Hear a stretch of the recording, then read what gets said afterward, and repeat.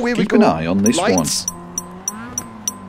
Go, go, go. I got past them on the first corner. Three wide. Car, Oh, here we go. car. You only You're repassed me on the next lap. Stay on the left. Clear on the right. I got back past when he effed up. Accident! There's an incident ahead. Car, Then he had to go and do it, didn't he? And get punted.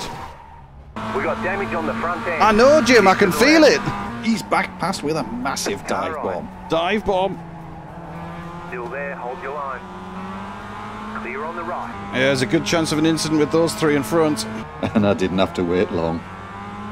Oh, there it is. Ahead. You got a slow car on the left. Go right.